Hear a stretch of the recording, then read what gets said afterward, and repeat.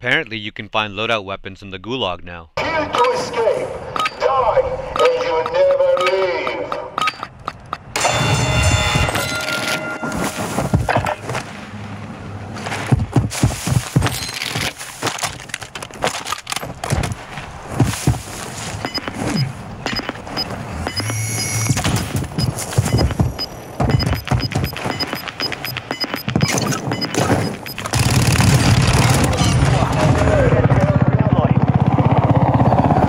Holy he's gonna think I'm hacking.